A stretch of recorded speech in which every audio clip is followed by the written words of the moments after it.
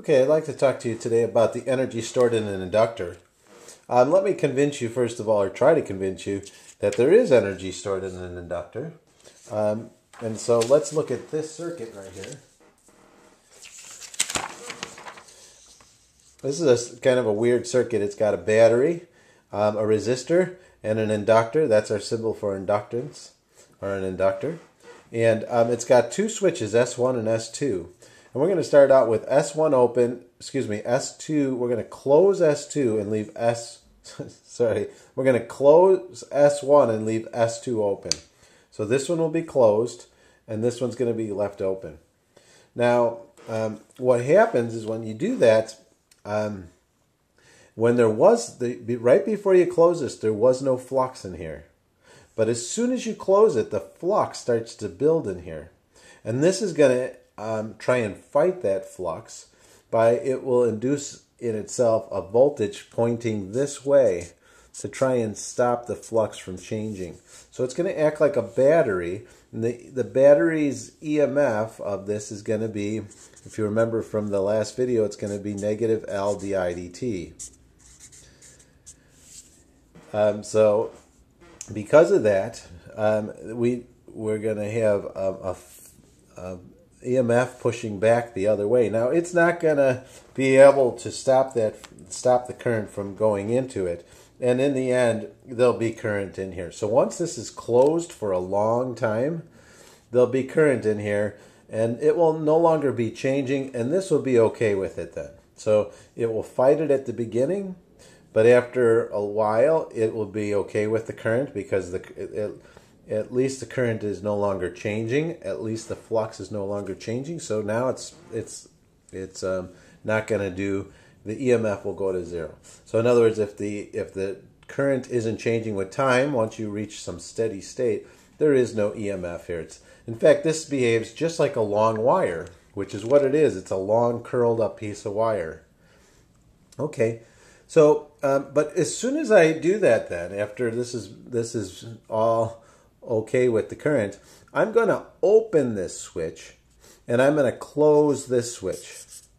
Now, if I open that one and I close this one, you might think, well, there's going to be no current flowing because there's no battery in that. What would, what would cause the current to flow? But see, here's the thing. If current's in here and it starts to die out, the flux is changing in here again. There's magnetic field that's disappearing if the I around here disappears, so does the field inside, and so does the flux. And so it's going to try and stop that from happening. And this time it's going to um, put a, a, an EMF that way, and the current will go around like this. Okay? Now that means that that inductor had some energy because it must have had some energy because it's pushing current around the circuit. So we say that that inductor has energy, and I want to derive for you what just what the equation is for energy that's stored in an inductor.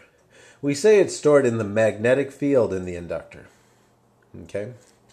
So, um, incidentally, the negative sign tells us that that would push that way because um, as the as the current starts to die out when you open this switch and close this one, the current will start to die out, which means that di dt is negative, and that being negative, along with that negative, makes the EMF positive to the right. Okay, um, so that said, let's see if we can derive what the what the what the energy is that's stored in an inductor. Okay, so we have um, the power that's used by an inductor is going to be I times V. Um, PIV, except I'm going to do I times E. But it's it's the current times the voltage across the inductor. The current through the inductor times the voltage across the inductor. Okay, well, um, that's equal to I times, now the voltage across an inductor is equal to L di dt. So power for an inductor is I times L di dt because this is this is the EMF. I'm going to leave off the negative sign there. Okay, so um, And that's going to be equal to, if you remember, our formula for power is also the rate at which energy changes with time. So the rate at which energy changes one form to another with time is power. Okay, so um, I have um, a dt on both sides. And so I'm going to say that um, this must also be true.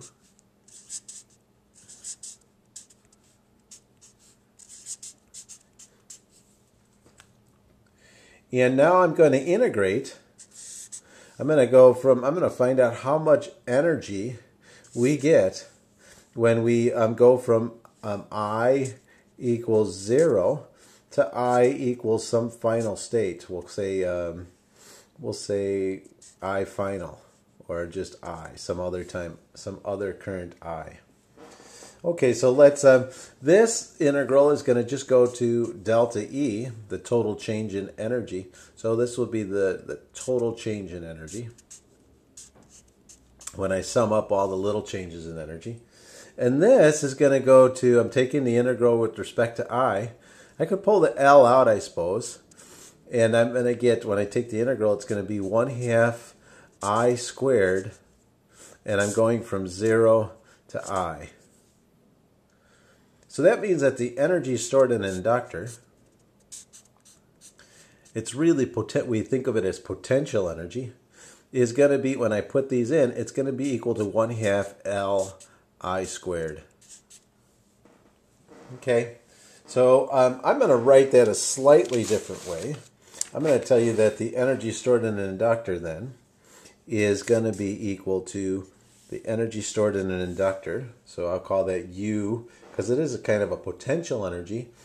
Um, in the L is for the inductor. So U sub L is equal to 1 half L I squared. Now I'll tell you how I mem- how I remember this. I know that the, um, the energy stored in an inductor is kind of like kinetic energy for mechanics. So kinetic energy for mechanics um, kinetic energy, we'll call that K, is 1 half m times v squared. And if you remember, um, the m, the, the inertial mass, is, a, is analogous to the electrical sluggishness or the electrical inertia, which is inductance. And the v is the same thing as I. So if you remember, like in mechanics, we said F equals ma, where m was dv dt. And um, in for inductors, we say that the EMF is equal to L di dt. So you see how I is equivalent to V, or not equivalent, but I is analogous to V, and the M is analogous to L. Okay, so when, whenever I'm trying to remember this equation, I I think of this equation, 1 half mv squared, and then I convert it in my head to, okay, oh, that must be 1 half li squared. And there's a lot of other equations you can do the same thing with as long as you know the analogs. So um, what we're saying then is if you have, um, let's say that we have a solenoid where L is equal to, say, um, 4 henries, and let's say the current in it at a given time is, um, let's say, 2 amps, then how much energy will be stored in it? The total energy that will be stored in the inductor is 1 half L times I squared. So that would be 4 amps squared. Or excuse me, 4 amps. The, just the quantity, this just the unit amps squared. I squared the 2 amps array. And so that, that's going to give me 8 joules. And maybe we'll leave it for another time to show you how that goes to joules. Because henries can be broken down and so can, so can amps. Okay, that's the energy stored in an inductor. So the energy stored in an inductor is 1 half Li squared. Thank you. Bye.